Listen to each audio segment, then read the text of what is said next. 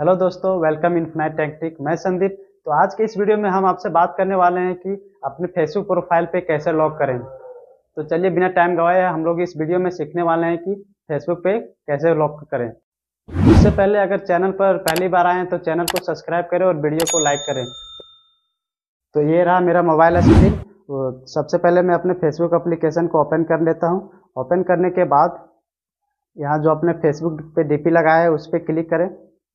Then यहाँ पर three dot लिखा है थ्री डॉट पर क्लिक करें। थ्री डॉट क्लिक करने के बाद यहाँ देखिए लॉक प्रोफ़ाइल का ऑप्शन दिया है, इस पर क्लिक करें। इसके बाद लॉक योर प्रोफ़ाइल इसमें क्लिक करें।